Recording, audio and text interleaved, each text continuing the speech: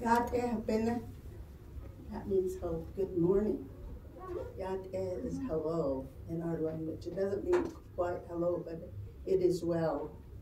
It is well with me and it is well with you, is what I'm saying.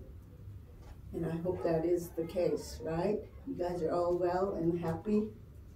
Okay, my name is Rose Jacob.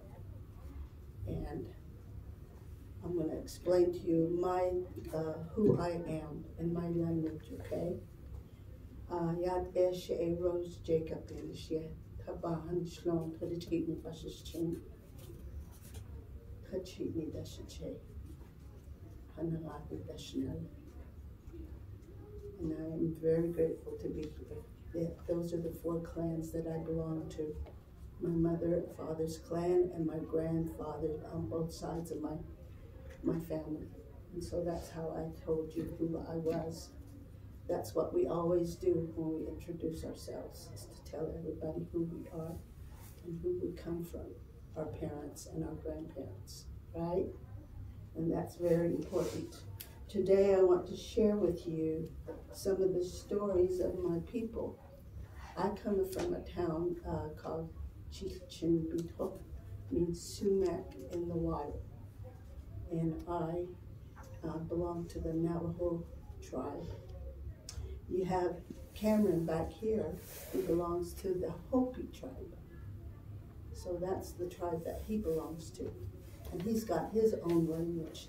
My language is different than his. So it is good to have Cameron here. He's, he's a good kid. I want to share with you some of the things that my people do. So first of all, you know that we live in the northern part of Arizona. North, we have uh, part of New Mexico, we have part of Arizona, and southern Utah.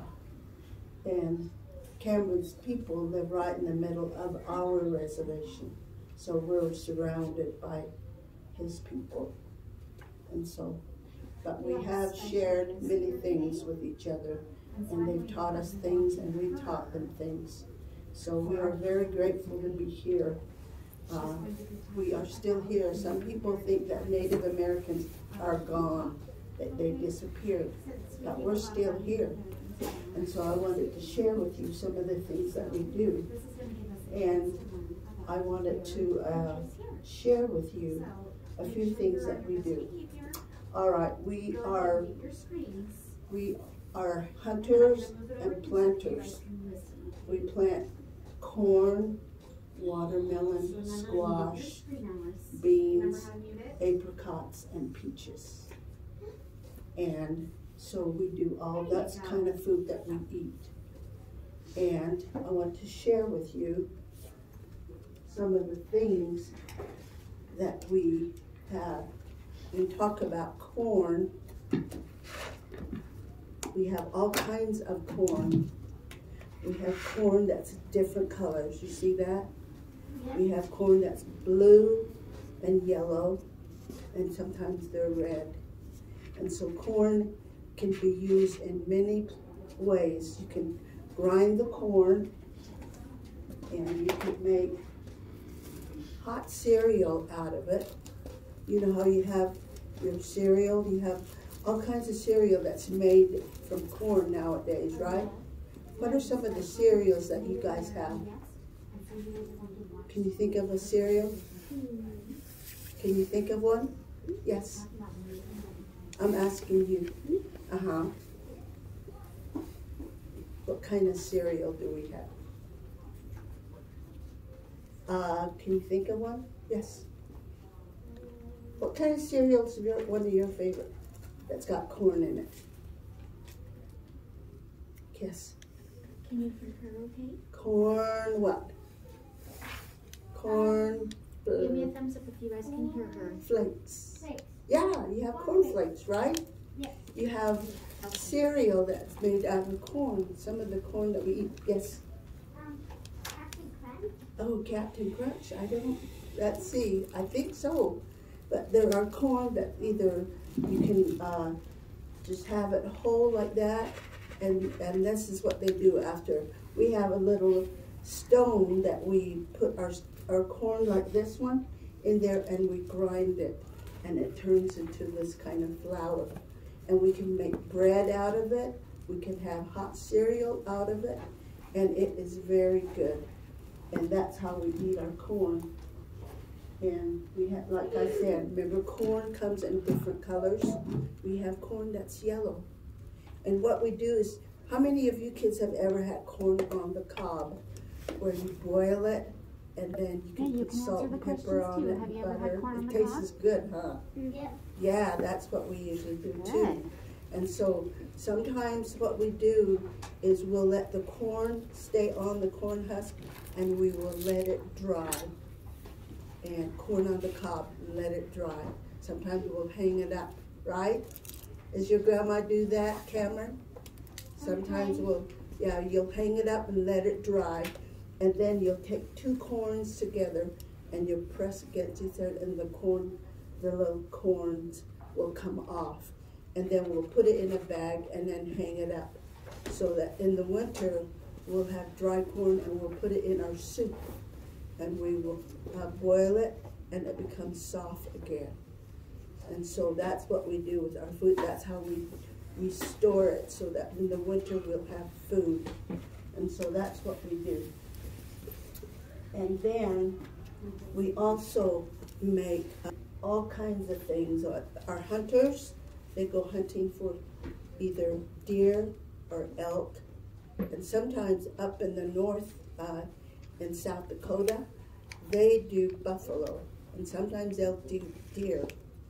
And they don't waste. You only kill just enough for the family or your, your grandmas and grandpas and cousins so that you can share all of that. And so when they, when they go hunting, they don't waste any of that. And they use a lot of it for different things. You know, when we talk about, when we use it for, we make moccasins out of them. This was my little, my little girl's moccasins. And she's grown up now. Her feet isn't this little anymore. So she has grown up, but these are the shoes that she used to wear. And then, you know, the skin of the of the deer is what we use. And there's a plant that makes this color. I mean, a stone that makes this color, not a plant. And um, and so that's that's how we use the, the hide of the animals. And we use it for clothes too. We make clothes. We make clothes, and also So we made uh, we, have bags for them. presentation, okay? and we so make bags the and we uh, wear them so if you'll just on our clothes. Our you can listen to. See, these are my moccasins, and they're usually worn in the winter because it wraps around my legs so that it can keep me warm. And this is what the, the women usually wear. And it wraps around like this, see? So it's pretend this is my leg, and it'll wrap around, and it'll wrap around, and then I'll tie it with this. And so that it will look like that. And it looks bit nicer than this, but that's what it looks like. It's wrapped all the way up to here on my, on, uh, by my knee. And so that's a, a woman's shoes. And we also use, uh, a lot of plants. We use plants for medicine. We also use plants for, uh, we have a plant that we have that we, uh, it's a tea. We use it for tea. And then we have medicine for colds. So when we get sick, and we boil the medicine uh, plant in, in water, and then we'll drink the juice of it. And that helps us with whatever problems we have. And colds are sometimes, we all have problems with, right, during the winter. And so those are the things that we do. Now, we use a lot of things that uh, are on the earth, like plants, like I said, we use for food, medicine, and we also use plants to make tools, like trees, branches, whatever, and bones from the animals. We use those for tools. And those are things that we do. We use whatever there is. And so we never we never waste anything. So I was gonna show you some of the things that I want you to see. Some of the tools when I talk about mm, uh, plants and trees. These are my mother's tools. She's gone, passed away now. But these are her tools and we talked about how we have all kinds of tools from plants and trees. And this is also one of her tools. This is her spindle.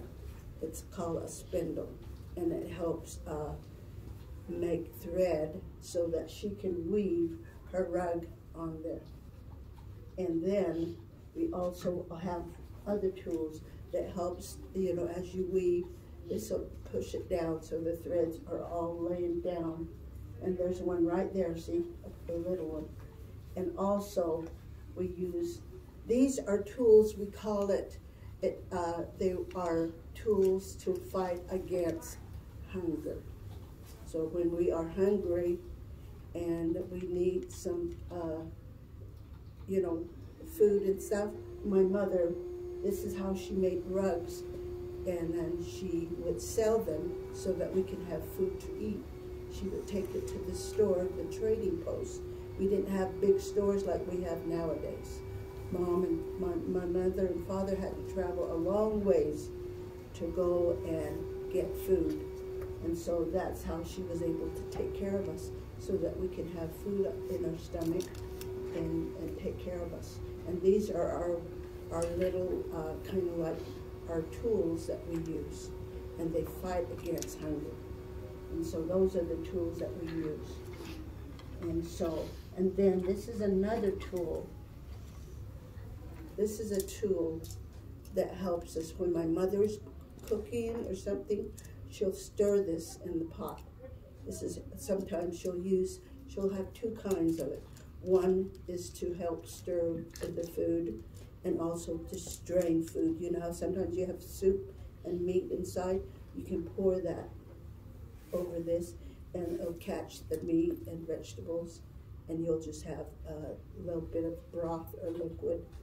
And sometimes she'll do that. And then she also, when she's when she's doing, uh, you know, when she makes her uh, threads and makes it really fine and really thin, she will go and she will get plants from, uh, she'll get the roots, the, the big part of the plant, and take that and then do different colors of dye. And so, so she uses all kinds of things like that. And I'm going to show you some of the things that she uses in plant dye. Okay, this is see the different colors of onion skin. They make different colors in in the threads that she she makes, and it'll- she'll use onion skin to make a different color. And then, then we have black sheep and white sheep. So when you mix those together, what color do you get when you get black and white mixed together? Gray. Gray. That is so smart. Look at you. Yes. And then we also remember how I said we use plants for medicine. Here are some different plants. We have sage.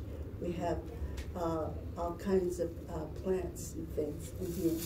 And then we also, this is what I was talking to you about when we make tea. This is uh, uh, this is tea that I drink when I have a cold, and so they're in little bundles like that. And then we have different kinds of plants. Oh, that one smells so good. We have uh, all kinds of different plants that we use. So plant is very important in everything that we we do and use. So we use plants, trees, and all kinds of things. Now remember that I was talking about uh, the the threads that go in here to weave. It's usually like that on a sheepskin. You see this? It is very thick, and what the people will do is they'll uh, shear it, cut it off the skin, and then that is what we will, after it's been cut off there, we'll get some of it on here and we will card it like that. See? We card it and then to get all the dirt off. So when we do that, we'll take it off like that. This is called a carding thing. And so we'll take it off like that. And usually when I'm when I'm sitting by my mother, my mother's always weaving. And this is my mother, and I don't know if you guys can see it. This is my mother and I. I used to have long hair, but this is my mother and I. And she's talking to me and showing me how to weave. And she's explaining things to me. So we were taught things when we were little. And so this is my mother and I. And so she would be weaving there. And we take this wool and then we would twist it and we put it on the spindle like that, see?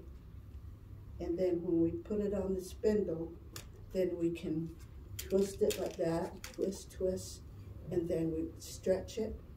And, and then pretty soon it gets really thin and becomes a thread. And so then we use that to weave our rugs. And so those are important things that we, we use. Now we talk about more plants. This is from, also from a plant. It's called a wedding basket. And we also, what we do, when a, a, a couple gets married, they get some of that corn, that powdered corn, make it into a cereal, and they'll pour it in here. And the bride and the groom will feed each other from the east, the south, the west, and the north.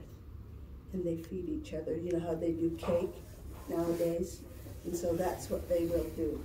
And that's how they, they uh, the wedding goes. And then this is a, called a, a wedding vase. And what they'll have water in here, and before the couples get married, they wash each other's hands. And this is what the water will be in this little uh, pot. And this is pottery too. My people are pottery makers. And so do Cameron's people. The Hopis make beautiful potteries. And they make some beautiful, I bet Cameron can show you some of the pots that your grandma has made, right? You should. That would be so wonderful to share that with, with your class. And so, so when the rugs are done, this is what it will look like. It will look really pretty.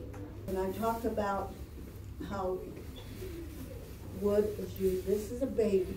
This is called a cradle board.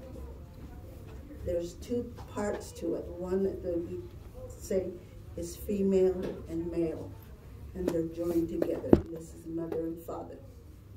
And on this side here, you will look at this, and this part right here is considered as the rainbow, okay? And uh, these little things right here, there's four of them, and those are considered the mountains. We have four sacred mountains, and we live in the middle of that reservation where we live. And so they are very sacred mountains to us. And then this string that ties it together is considered to be lightning. You know, lightning that strikes the ground. Sometimes you see that light that comes down. That's the lightning. Now this part right here, the bottom of it, is considered the home. The whole one, we call it home.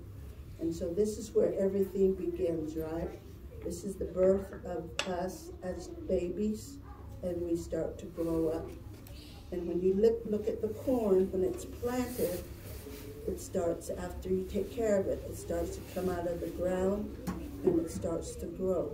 And this is kind of like your life. You're a child and you're growing. Right now you're learning new things, right? You're growing, you're growing. And pretty soon you'll get older and older, right? You're not going to stay children for very long, right?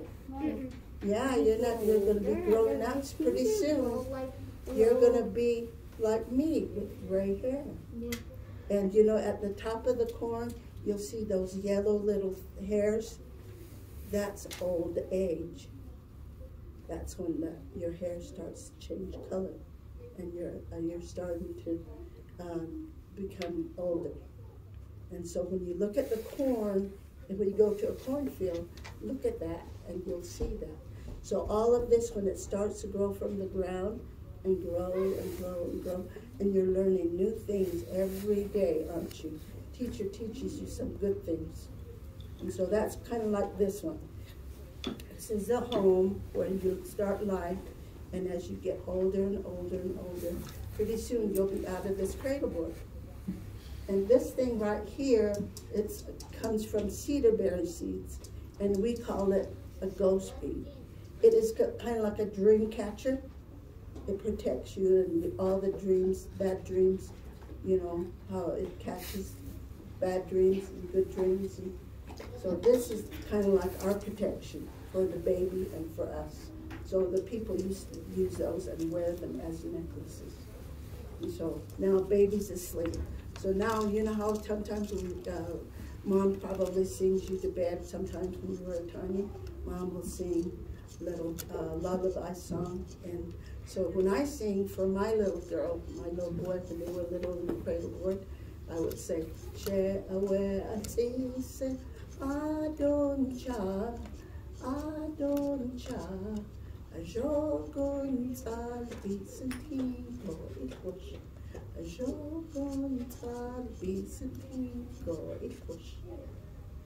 so I would sing for the baby like that. I'm saying, baby, don't cry. Go to sleep in your little paper, your little cradle boy. So I would sing the baby a lullaby. Pretty soon, baby's asleep. See, baby's sleeping right So that's the little cradle boy song. See, when we talk about homes, we also have homes where different tribes have different kinds of homes. We have uh, the tribe up in the north, up uh, the Plains tribe, they lived in teepees. They lived in teepees like that. And this, the skin was made out of buffalo hide. And I'm sure that's about three or four buffalo hides that made that covering. And so they, they bring this down real fast when they need to move. So this was easy to carry and take to different places. For ceremonies, they use their teepees. But Navajos, my people, we lived in a thing called a hogan hogan. It was made into this shape. And I didn't finish it, but this is what they look like. And it had mud cover, just kind of like the back. And they used to cover it that way. And then they had a door. Before they had doors that closed, they used to have a blanket that went and covered it. Now, Cameron, his people, they live in uh, what they call adobe houses. Like they're stacked on each other. It's really neat where they live. And families live in this kind of a home. But their homes were stacked on each other. And it's really unique to see that. But in the Hogan, uh, you go in the Hogan and you always go clockwise which is like how the clock moves. So when you go into the house, you always go to your what? To your left, right? You go to your left, and then my parents used to live. Uh, I mean, it, we all lived in this one room, and we would uh, every morning we would take. We each had our own sheepskin. Every morning we'd take that and we'd take it outside and hang it and then we would, uh, in the evenings, we'd bring it back in and we'd lay it down on the floor. We didn't have dirt, we didn't have cement floors, we had dirt floors. And so we would bring it in and we would lay it next to each other. There was 11 of us in my family. So they, uh, we, we were like little sardines sleeping next to each other. And then my parents had their own little area. And so all the cooking, and the living was in that one room. And it's probably not even that big. It's probably partly the size of this area. And so it, it was a, a very small area that we lived in. I was wanting to share this with you. And this is also a hide made from a hide. It's made into a drum. We made a drum out of this. And so I wanted to share a song with you. And my people, we're singers. We sang songs that told stories. We also told stories in the winter. And I don't know if teachers taught uh, shared a story with you, but we also do storytelling in the winter. Not uh, not in uh, in the summers. We told different stories, but coyote stories we tell stories about those in the winter. And there's only certain things that we can do in the winter that we don't do in the summer. So, but I'm gonna sing you a song. You know, when my people were taken away from their land once a long time ago, and they were sad because they were taken away from their land. And so for four years they were in a different place. And they, they a lot of people died on the way because they marched them all the way from their homeland all the way to into a different spot called Bosque Redondo. And they were there for four years and they were so sad to they wanted to go home. And they uh, finally they were asked, they were told that they can go home. And so they did. And while they were there, they were sad. They would miss their four mountains that they lived in. And so this is the song that they were singing, the men were singing. na Allah, na Allah, na ya. Dola dola na Allah, dola dola na Allah. Tifne jamais,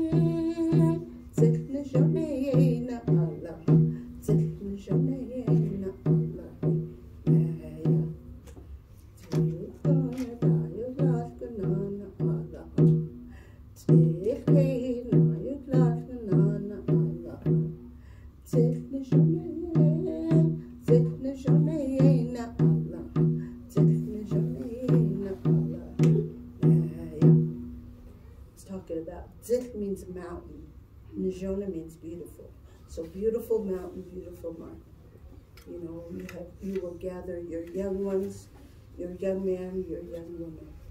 And so that's the song that they they sang and they were able to come home.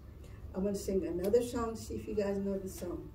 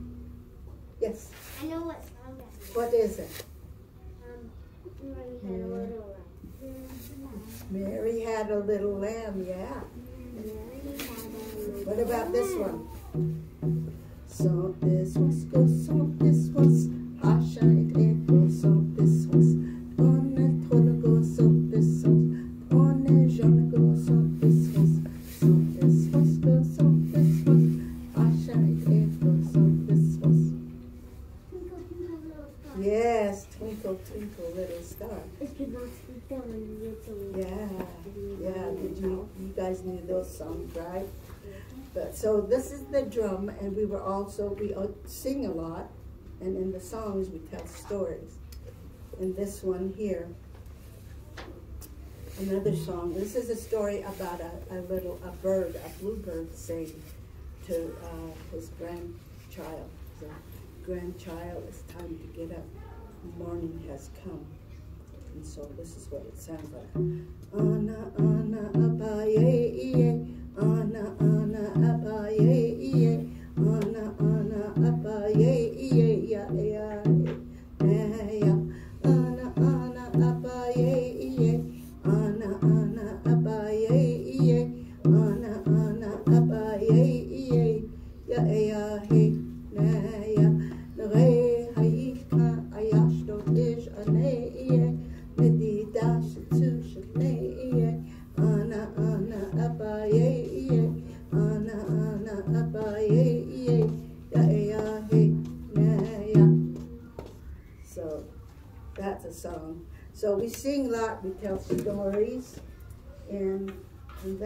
this is uh, part of our culture is to tell stories. Well, let me tell you one story. There was a story about coyote and deer. The mother deer was one day they were strolling around, and uh, walking, and all of a sudden, coyote comes up, and the mother deer was a little hesitant because she didn't like the idea that coyote was coming around and sneaking around them, and so she finally said, "What do you want?" And then the coyote says, "Oh, I was looking at your little baby does. They're so beautiful. Look at the dots on body."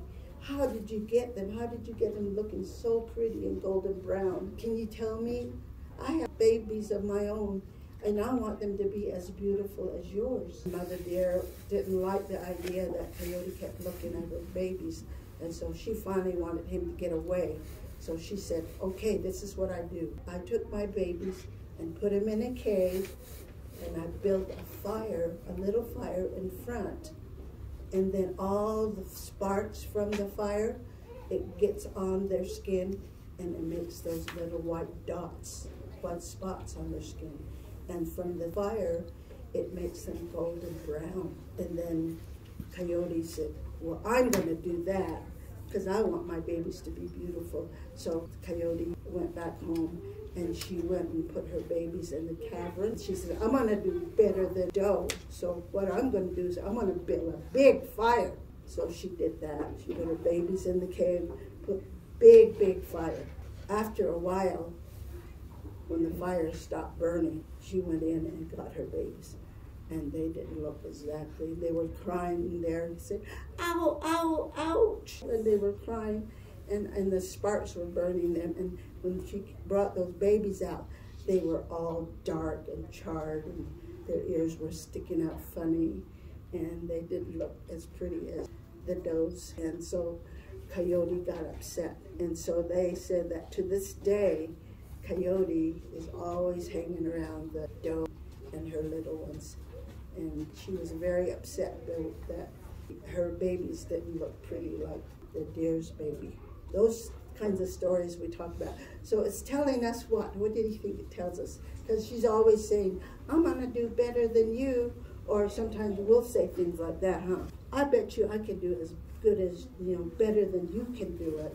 And so we kind of say, it makes us people be mean to one another when they say that, right?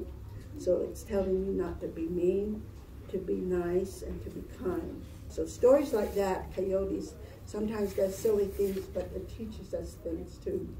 So remember that, okay? So when teacher tells you a story, you can listen to her and she'll teach you some good things. So that is what I have to share with you today. Those are the tools that we have, and they're very important and today, diff tools are different probably in your home, right? You have different kinds of tools that you use in your home to cook and to make things. Okay, this is another one. These are, we usually, my mother finds these out in the field. And this thing, you know what we use this for? We use this for a hairbrush. What? It's a hairbrush. I knew it. Yeah, this is a hairbrush. We also have uh, another one kind of like this that we also use not that much, but we use it to uh, strain our food. Like we pour liquid into here and catch all the stuff, and then we just get the juice down here. And so, but this is a hairbrush. This is my mother's. This thread here, this material, is older than I am and I'm old. This has been there for many, many years, and this was my mother's, and she gave it to me. And so that's the hairbrush. And my mom's hair used to be real long, and she'd brush her hair like this. And then she put her hair in a bun back here. And so that's a hairbrush. So now you know, if you see something like this, you'll know. When we uh, get new ones, we would go out in the field and we'd get these and they're usually green, but then after a while it dries and this is the color they come in. We were also pottery makers, like I said. So we we have different pots, and I bet your grandma's got beautiful ones, right? Yes. Cameron? All right, thank you so much for letting me uh, share with you. Yes? Which one? Eagle. Eagle. Oh, the eagle, yes. We have these are very important uh, birds to us as Native American people. We use the feathers of the eagle for ceremonies. We, they use it in their head, headdresses. And you know how you'll see feathers on native people? We use the eagle feathers. And we don't just kill an eagle. They usually the eagle die on their own and we can find the feathers or sometimes they'll fall from the sky. And so that's how we use it. We use all, all the eagle feathers. I forgot to tell you about my jewelry. We have turquoise. These these are our beads that we have. It uh, comes from the ground, and these are stones. They're called turquoise. We also have coral, which it comes from the ocean, Yes. the bottom of the ocean. I know. Different colors come in that. So, and then we have silver. We use a lot of silver in our jewelry making. You can see that all over. See, I've got rings and bracelets and things like that. Thank you so much for letting me come. I